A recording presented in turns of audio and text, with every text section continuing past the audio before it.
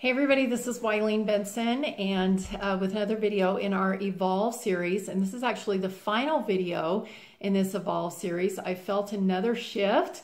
Um, the first set, uh, series of videos was the Safeguard series and that was when we were, um, everybody was kind of feeling like they needed to find some stability and safety in a crisis situation.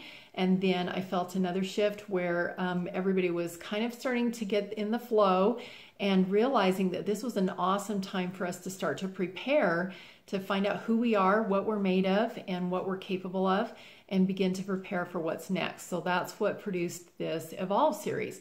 But now I'm feeling a different shift once we have kind of a little bit of a solid foundation in uh, who we are and what we're preparing for, then there's this natural desire to reach out and to come together in a common cause and uh, a common purpose. And so that's where we're going to be shifting to from here. Um, the problem with uh, that we've been facing is that our world is changing, and um, that requires us individually to evolve. And of course, you know, the way to do that is to really focus on ourselves. You know, what is it? What is my contribution? What is it that I need to do to change? Um, who am I? How can I become the person that I need to, to be as we are evol- evolving into this new world that we're shifting into? So it's all about me. And then, um, but the problem with that, you know, of course, that's the solution is to really focus on yourself and make sure that you are stable and, and solid. Um, but then what happens is a lot of times we start feeling alone. And like I said, the natural desire is to reach out and to come together. So that is, uh, again, I want to give you that invitation to go to the Lord's Way to Wealth Facebook group, the free public Facebook group that I've created. This is a group of Christ centered, purpose driven people who is coming together in a common purpose of um, making a mark on the world, leaving a legacy, doing something of, uh, of of value that is going to serve other people.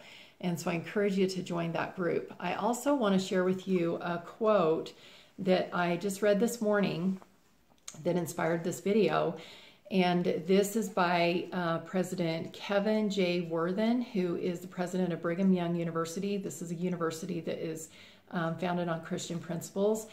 And here is the quote um, in my devotional address at the beginning of this school year, I spoke about the importance of gathering and how coming together in a compact society enhances our education. There is something powerful about a community of disciples of Jesus Christ who view themselves not just as isolated individuals pursuing their own goals, but as part of a covenant community gathered together to realize their full potential as children of God. And if you have not participated in the Lord's Way to Wealth, you don't really grasp the full power of that statement. As soon as I read that statement, I thought, yes, this is who we are in the Lord's Way to Wealth. We are a group of Christian disciples who are coming together to reach our full potential. So I encourage you to join that free public Facebook group if you feel like you want to step into a higher level of doing this, of reaching your full God given potential. Then I encourage you to reach out to me in private message. And uh, I would love to give you some more information about being a part of the Lord's Way to Wealth Mastermind Group, which is an even higher level of doing just that. So thank you for joining me in this Evolve series. I'm looking forward to what gets created after this. I do have an event that's going to be coming up in a couple of weeks. I'll be posting some information about that over the next couple of days. So thank you for joining me and I look forward to interacting with you more on the Lord's Way to Wealth Facebook group.